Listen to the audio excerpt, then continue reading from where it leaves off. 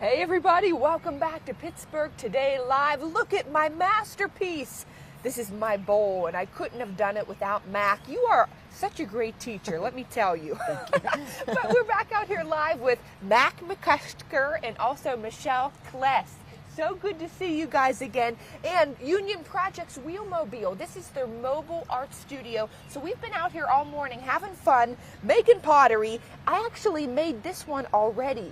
What, what can I use this for, Mac? Uh, pencil holder.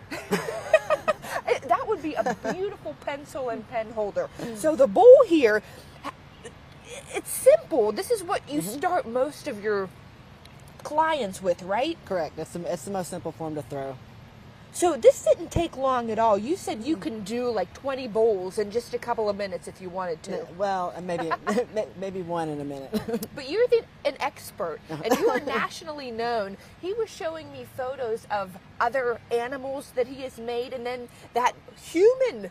It was like a real person. It looked like. was, yeah. How many years have you been throwing, Mac? About 27 years.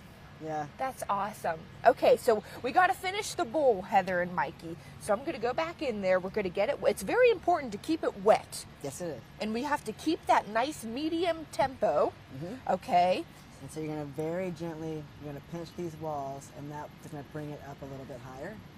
And it also thins them out Ah. because you don't want it to be unevenly thick.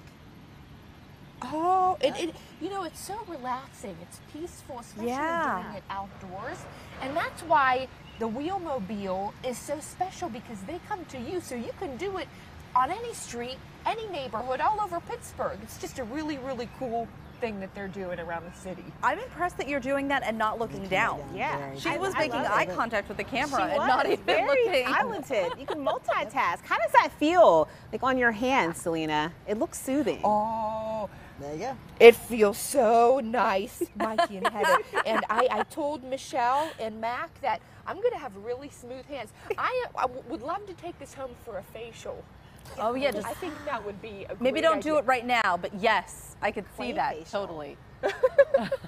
All right, Celina, thank you so much. We want to remind you the Wheelmobile is available for bookings, think parties, and community events. It's also going to be at Aspinwall Riverfront Park in August. I know that's a ways away, but mark it on your calendar now. Summer goes by in a flash. Yeah, it'll be here before you know it. And stay tuned for even more pop up locations throughout the summer. We'll have their details on our website.